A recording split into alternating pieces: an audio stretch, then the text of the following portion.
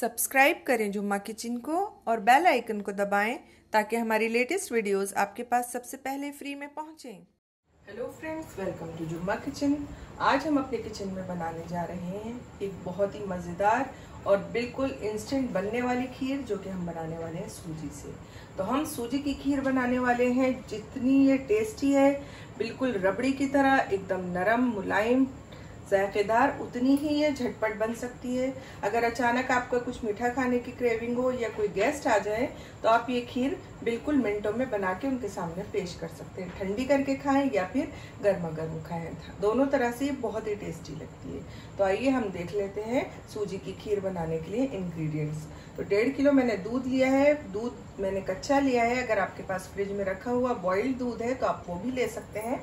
और मैंने लिया है डेढ़ किलो। उसके अलावा आधा कप मैंने सूजी ली है, आधा कप हमने चीनी ली है और चीनी आप अपनी पसंद के हिसाब से ले सकते हैं, कम या ज़्यादा। और ये लिए हैं मैंने तीन बर्फ़ी के पीसेस छोटे पीसेस हैं, जो कि बिल्कुल ऑप्शनल है। इसको डालने से जो हमारी खीर है, उसका टेस्ट बहुत ज़्यादा इन्हेंस हो जाएगा, बहुत ही जायकेदार बन जाएगी रबड़ी की तरह, क्योंकि इसके अंदर खोया होता है। लेकिन अगर आपकी मर्ज़ी नहीं है, आपको पसंद नहीं है तो आप इसको बिल्कुल स्किप कर सकते हैं। और अगर आप चाहें तो इसकी जगह थोड़ा सा मिल्क पाउडर तीन टेबल स्पून के करीब या फिर थोड़ा सा कंडेंस्ड मिल्क भी डाल सकते हैं। तो बर्फ़ी जो है, वो थोड़ी मीठी होती है, इसलिए मैंने चीनी थोड़ी कम ली है। अगर आप बर्फ़ी नहीं ले रहे हैं तो आप थोड़ी सी चीनी को बढ़ा सकते हैं। तो इस बर्फ़ी के जो पीसेस हैं, इनको मैं हाथ से मसल के फिर वो डालूँगी।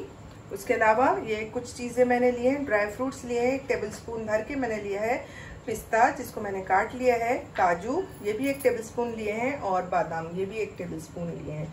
तो आप इनकी जगह अपनी पसंद के कोई भी ड्राई फ्रूट्स कम या ज़्यादा ले सकते हैं। और तीन हरी इलायची ली हैं मैंने और थोड़े से ये धागे लिए हैं सेफ्रन के ज़ाफ़रान के। बहुत ज़्यादा नहीं लेना है, वरना हमारी जो खीर है, उसका कलर बिल्कुल चेंज हो जाएगा। तो सबसे पहले जो हमारे ड्राई फ्रूट्स हैं, उनको हम फ्राई कढ़ाई ली है हमने और डाल देते हैं इसके अंदर एक टेबल देसी घी। बहुत ज़्यादा घी नहीं चाहिए, बस एक टेबल स्पून में आराम से रोस्ट हो जाएँगे। और हम डाल देते हैं अपने ड्राई फ्रूट्स बादाम,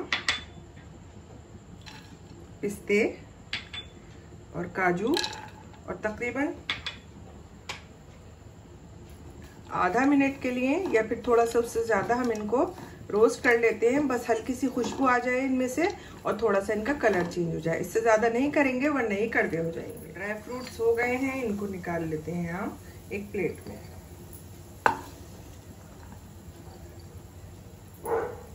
कढ़ाई में फिर से हम डाल देते हैं एक टेबल स्पून घी।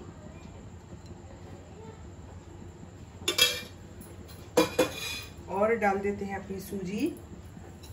और सूजी को हम रोस्ट कर लेते हैं ताकि सूजी का जो कच्चापन है वो ख़त्म हो जाए। तो तकरीबन हम इसको लो फ्लेम पर दो मिनट के लिए भून लेते हैं। बहुत डार्क हमें इसका कलर नहीं करना सूजी हमारी अच्छे से रोस्ट हो गई है, बस बहुत कलर नहीं चेंज हुआ है इसका। गैस को मैंने बंद कर दिया है और इसको भी एक बोल में निकाल लेती हूँ। तो सूजी मैंने एक बोल में निकाल ली है। अब इसी कढ़ाई के अंदर हम डालेंगे पहले दो टेबलस्पून पानी। दूध को बॉईल करने से पहले हमेशा दो टेबलस्पून पानी डाल देना चाहिए, वरना हमारा दूध जो है वो बर्तन की तली में लगने का डर होता है।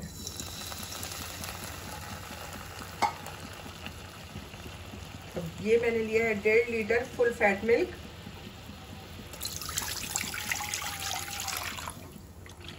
दूध को हम चलाते हुए मीडियम फ्लेम पर बॉईल कर लेते हैं। में अच्छा सा बॉईल आ गया है तो डाल देते हैं हम इसके अंदर हरी इलायची और केसर।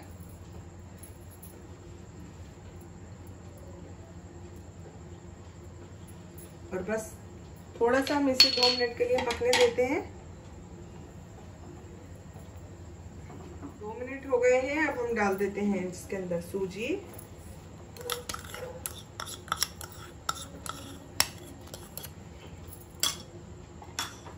और साथ ही में हम डाल देते हैं इसके अंदर ड्राई फ्रूट्स थोड़े से हम गार्निशिंग के लिए बचा लेंगे।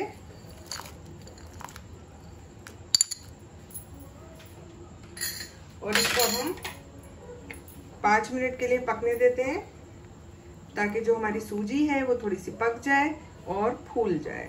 तो बस low medium to medium flame पर हम इसको बीच बीच में चलाते हुए पका लेते हैं। तो खीर को पकते हुए हो गए हैं पाँच मिनट, और ये देखिए ये गाढ़ी भी होने लगी है। सूजी फूल गई है। तो अब हम डाल देते हैं इसके अंदर चीनी।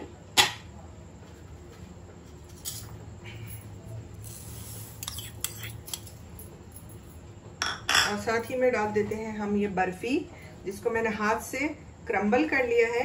अगर आपके पास है तो ज़रूर डाल दीजिएगा। और नहीं है तो मिल्क पाउडर या फिर कुछ भी नहीं, कोई भी मसला नहीं है। तो इसको अब हम थोड़ी देर पकने देंगे। ताकि जो चीनी है वो घुल जाए और जो हमने बर्फ़ी डाली है, वो भी इसमें अच्छे से मिक्स हो जाए। तो लो टू मीडियम फ्लेम पर हम इसे थोड़ी देर और पका लेते हैं। तो सूजी हमारी अच्छे से फूल गई है, चीनी और बर्फ़ी इसमें घुल गई है और मैंने चेक कर लिया है। मेरे हिसाब से बिल्कुल परफेक्ट मीठा है।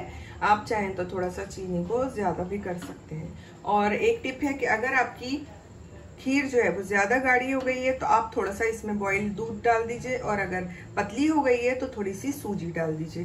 कच्ची भी चल जाती है, कोई मसला नहीं होता। तो बस मेरे हिसाब से ये ठीक है, इससे ज़्यादा हम इसको थिक नहीं करेंगे, क्योंकि ये ठंडी होने के बाद बहुत ज़्यादा थिक हो जाती है। अपनी गैस को मैं बंद कर देती हूँ और आपको डिश आउट करके दिखाती हूँ।